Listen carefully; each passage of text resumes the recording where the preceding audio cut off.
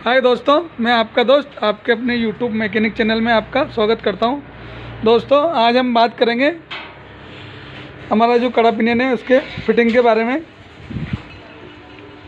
वैसे कड़ा पिनियन तीन तरीके से खुलता है स्वराज का। एक तरीका तो ये है जो मैंने इसमें अभी खोला है, एक टायर एक्सल खोल के मरगाट खोल के, और इसको बाहर निकाला है। एक तरीका यह है कि हम दोनों इसके एक्सल खोल लेते हैं।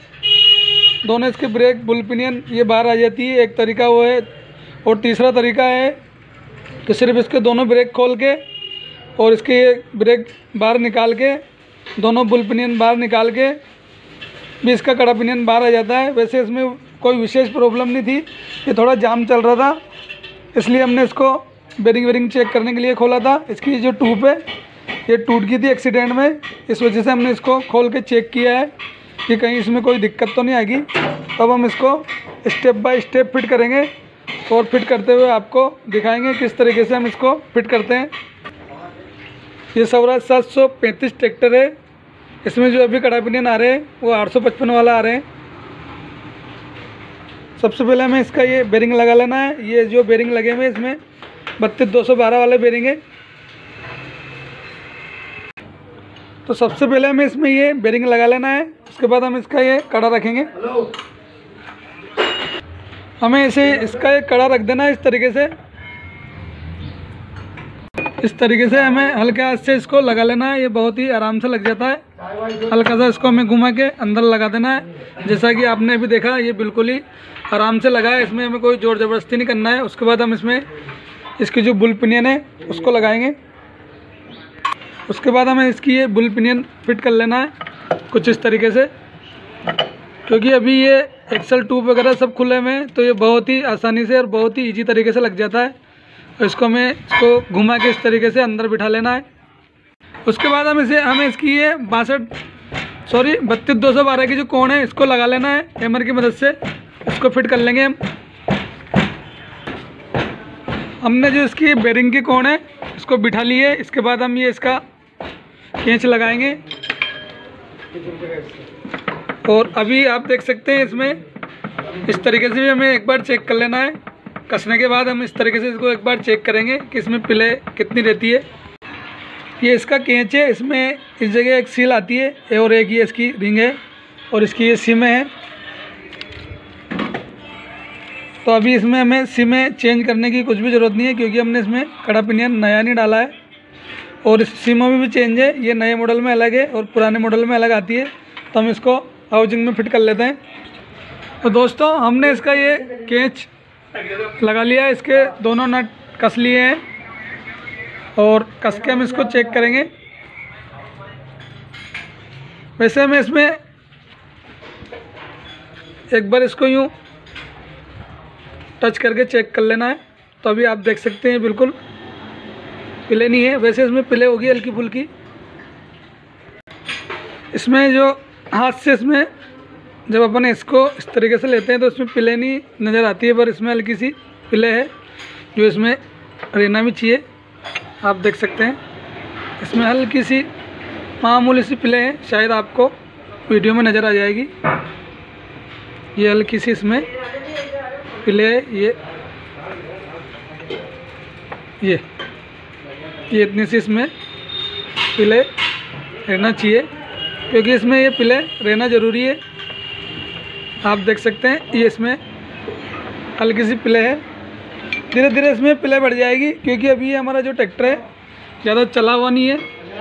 ये एक हज़ार एक सौ इकतालीस घंटे चला हुआ है। इसी, इसीलिए इसमें थोड़ी पिले कम है। इस तरीके से इसमें आज से पिले नहीं है। जब हम इसमें टामी या कुछ चीज़ लगा के इसको हल्का सा हलचल करते हैं तो इसमें पिले रहना चाहिए हल्की सी। वैसे जब कभी मैं नया कड़ा पनियन डालूँगा, जब आपको एक एक जानकारी दे दूँगा। फ़िलहाल तो हम इसको, अभी हमने पेंट मंगाया है, इसमें पेंट लगा के और आपको चेक कराएँगे कि कंपनी किस तरीके से इसको चेक करके देती है।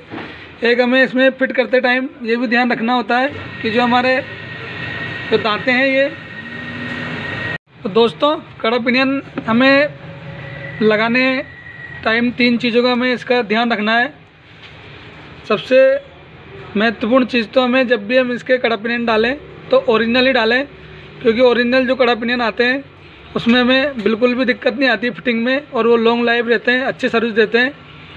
दूसरी बात, जब हम इसको फिट करें तो हमें ये ध्यान देना है कि हमारा जो ये दांत है, ये इसके दांतें हैं ये यहाँ पकड़ने करना चाहिए और इस जगह पकड़ने करना चाहिए। इसकी जो पकड़ है यहाँ बीच में आना चाहिए, ताकि जो हमारा कड़ा पिनियन है, वो लंबी सर्विस देगा।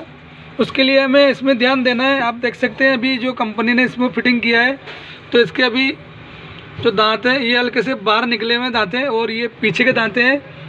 ये भी हल्के से बाहर है। मतलब कहने का मतलब ये है कि ये हमारा जो दांता है, ये बिल्कुल एग्जेट है, ना ज़्यादा बाहर है। और ना ही ज़्यादा अंदर है। और फिट करते टाइम जब हम नया कड़ा पनीर इसमें फिट करेंगे तो सबसे पहले हमें इसको क्राउन को फिट करना है। क्राउन को फिट करके इसको घुमा के चेक करना है। उसके बाद पिनियन लगाना है। वो कभी मैं कड़ा पिनियन का जॉब करूँगा या कड़ा पिनियन का वीडियो डालूँगा जो उसमें आपको और जानकारी दे दूँगा। इन चीज़ों का हमें इसमें ध्यान रखना है। एक तो ये चीज़ होगी, एक हमें कड़ा पिनियन ओरिजिनल डालना है। दूसरी बात ये ना तो फ्री रहना चाहिए और ना ही ज़्यादा टाइट रहना चाहिए। तो इस तरीके से हमें इसको घुमा के चेक कर लेना है। तो इस तरीके से हमें इसको घुमा के चेक कर लेना है। ना ही ये ज़्यादा टाइट होना चाहिए और ना ज़्यादा फ्री होना चाहिए। वैसे कंपनी जब इसको फिट करती है तो उनके पास नाप तोल रहता है, वो इसको केजी से फिट करती है। भाई, इतने केजी पे जो हमारा कड़ा पिनियन है, वो घूमना चाहिए। वैसे हमारे हिसाब से ये हल्का सा हमें टाइट महसूस हो रहा है, पर कंपनी का मैनेजमेंट है, इसलिए हम इसको छेड़ेंगे नहीं। और अगर अगर हमें लगेगा कि ये ज़्यादा टाइट है तो हम इसमें इस साइड एक सिम डाल देंगे तो ये थोड़ा इजीली फ्री हो जाएगा। हमारे जो ये बेरिंग है, ये अभी आयल ग्रेस नहीं है इनमें, ये वैसे लगे हुए हैं तो उसकी वजह से भी ये टाइट है। तो एक बार पहले हम इसमें ऑयल कैन से थोड़ा ऑयल डाल लेंगे, उसके बाद हम इसको घुमा के चेक करेंगे। फिर भी अगर इसमें स्थिति ऐसी ही रहती है तो हम सिम सिम लगा देंगे इसमें। ताकि ये थोड़ा फ्री घूमे। अभी जब हमने इसमें आयल बेरिंगों के आयल लगाया तो आप देख सकते हैं, ये घूम रहा है। तो हम इसमें सिम नहीं डाल के इसी को रहने देंगे, क्योंकि हमने बेरिंगों को वैसे ही लगाए थे, इसलिए भी ये थोड़ा जाम था। तो जैसे हमने इसमें आयल डाला तो ये बिल्कुल सही साइड चल रहा है, आप देख सकते हैं। और जैसे इसमें आयल मिलेगा सभी बेरिंगों को तो ये इतना जितना अभी टाइट बता रहा है, उतना टाइट नहीं रहेगा। तो इस चीज़ का भी हमें विशेष ध्यान रखना है। तब हम इसको यहाँ पर इसमें पेंट लगाएँगे। पेंट लगा के देखेंगे कि जो हमारे जो दांते हैं किस जगह पकड़ कर रहे हैं। तो हमें इसमें चार जगह पेंट लगा लेना है। जगह दूरी बना के चार जगह हम इसमें पेंट लगा लेंगे। पेंट लगा के और हम इसको चेक करेंगे। तो दोस्तों इस तरीके से हमें इसमें चार जगह पेंट लगा लेना है। जैसा मैंने लगाया ये कुछ दांते छोड़ के हमें इसमें चार जगह इसमें पेंट लगा लेना है, फिर हम इसको घुमा के देखेंगे।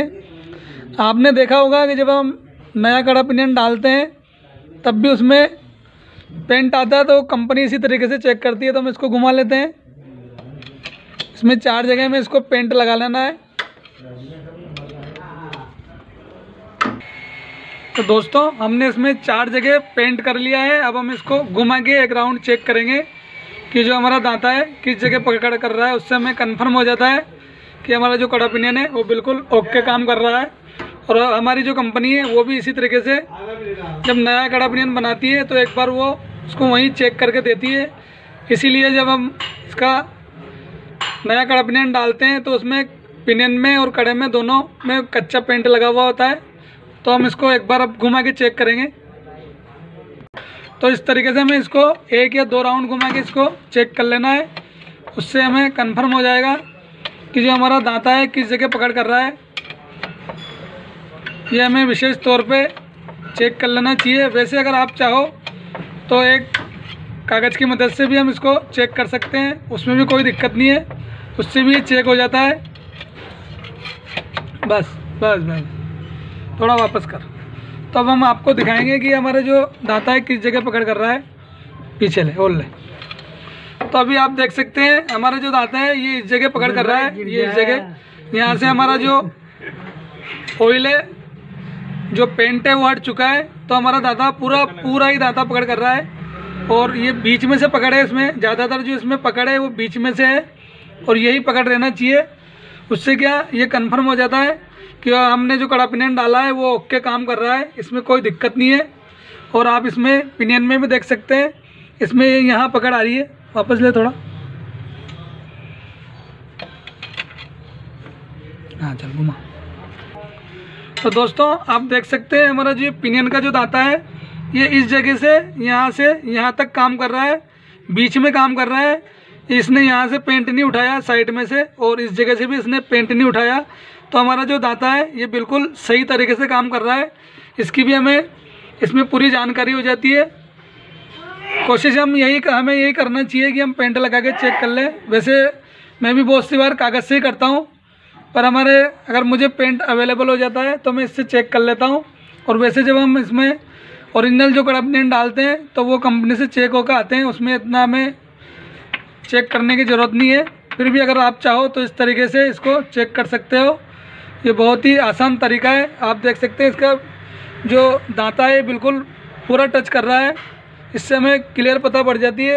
एक तरीका वो भी होता है कि हम, हमारा जो पेपर आता है, उस पेपर को हम उससे भी चेक कर सकते हैं। तो इस तरीके से हमें इसको, कड़ा पिनियन को चेक कर लेना चाहिए। दूसरी बात, इसमें ये हैंड प्ले नहीं रहना चाहिए इधर उधर की। एक चीज़ हमें इसकी चेक कर लेना चाहिए।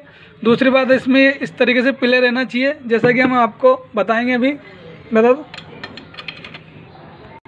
एक तरीका हमें इसको इस तरीके से चेक कर लेना है कि इसको इतनी सी पिले रहना चाहिए इसमें। वैसे कंपनी इसको कहती है, ज़ीरो से लेके ज़ीरो पॉइंट बीस में बीस तक इसमें पिले रहना चाहिए, बीस एम एम। ज़ीरो पॉइंट बीस एम एम इसमें प्ले चेक करना चाहिए और ये हमें चार ही जगह चेक करना चाहिए। इसमें हल्की सी मामूली सी प्ले है ये इस तरीके से हमें इसको चेक कर लेना है। आप देख सकते हैं। ये। ये इतनी सी इसमें पिले हैं। ये। और इसी इतनी इसमें पिले होना भी चाहिए, ताकि हमारे जो दांते हैं, कड़ा पिनन के एक दूसरे से अड़के नहीं चलें। तो इतनी सी इसमें पिले होना चाहिए। हमारे पास अभी डायल बोर गेज उपलब्ध नहीं है, वो भी हम कभी मंगाएँगे तो कभी कड़ा पिनियन फिट करेंगे तो उसमें हम आपको दिखा देंगे कि इसमें कितनी पिले रहना चाहिए। तो इस तरीके से हमें इसका कड़ा पिनियन सेट कर लेना चाहिए। मुझे ये तरीका बहुत अच्छा लगता है। वैसे मैं पेपर से भी सेट करता हूँ, पर ज़्यादातर हम पेंट से ही करते हैं इसको कंप्लीट। तो इस तरीके से हमें इसको चेक कर लेना है तो हमारा ये कड़ा पिनियन बिल्कुल ओके है। और हमने इसमें सिफ्ट डाली है। पहले हमें ये थोड़ा टाइट लग रहा था तो जैसे हमने इनमें बेरिंगों में आयल लगाया तो ये बिल्कुल कंप्लीट हल्के हाथ से घूम रहा है। तो हम इसमें बिल्कुल भी छेड़खानी नहीं करेंगे, क्योंकि ये कंपनी द्वारा फिट होया हुआ है, आप देख सकते हैं। ये बिल्कुल ईजिली घूम रहा है, इसमें कोई दिक्कत नहीं है घूमने में। तो हम इसको इसी जगह सेट कर देंगे। तो हमें इसमें दो तीन चीज़ों का हमें इसमें ध्यान रखना है कड़ा पिनियन फिट करते समय। क्योंकि जो भी लोड होता है, इन्हीं पे आके पड़ता है डायरेक्ट जो भी हम झटका देते हैं तो वो इन्हीं पे लोड पड़ता है। तो इसमें हमें दो तीन चीज़ का विशेष ध्यान रखना चाहिए। एक तो ये ज़्यादा फ्री नहीं होना चाहिए। दूसरा, ये ज़्यादा टाइट नहीं होना चाहिए। इसमें इस तरीके से प्ले नहीं होना चाहिए क्राउन में। दूसरी बात यह है कि हमारे जो दांते हैं, ये बिल्कुल सटीक रहना चाहिए। ना ज़्यादा आगे रहना चाहिए। पिनियन ना मेरी पिनियन ये ज़्यादा बाहर रहना चाहिए। उसके लिए कंपनी ने यहाँ ये सीमित रखी है। इससे आप एडजस्ट कर सकते हो। पर जब आप ओरिजिनल कड़ा पिनियन डालते हो तो उसमें कुछ भी दिक्कत नहीं आती है। आपको इसमें कोई सी में चेंज करने की ज़रूरत नहीं है। और बाकी जो अदर कंपनी के जो कड़ा पिनियन आते हैं, उसका नाप तोल अलग हो सकता है। तो उसके लिए आप यहाँ से इसको सेट कर सकते हो।